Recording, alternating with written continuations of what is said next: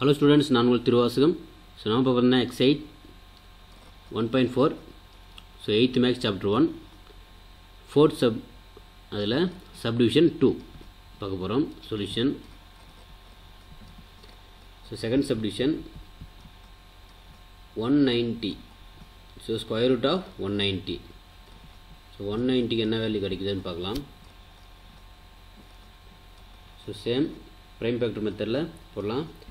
One nine zero. So ஏன்னா இது? Zero இருக்கா? சரி இது வந்து இங்கே டூவில் போடுறோம். டூ பண்ணும்போது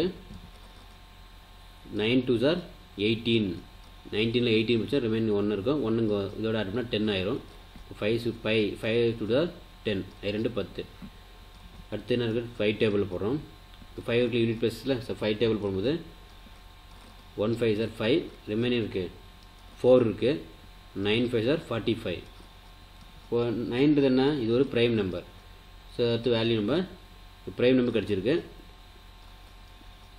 ஸோ இது நம்ம டைரெக்டாக இந்த மூணு வேல்யூ இங்கே எழுதலாம்.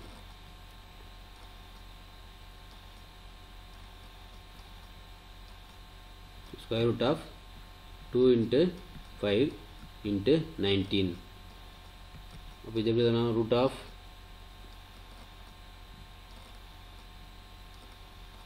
two into five into nineteen இந்த த்ரீ நம்பருக்குமே என்ன வேலை நம்மகிட்ட?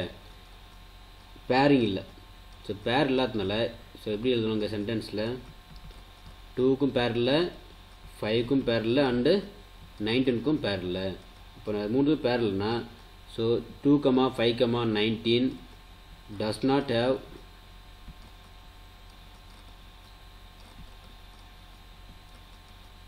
pair so இது பேர் என்ன சொல்லலாம் one ninety is not a perfect square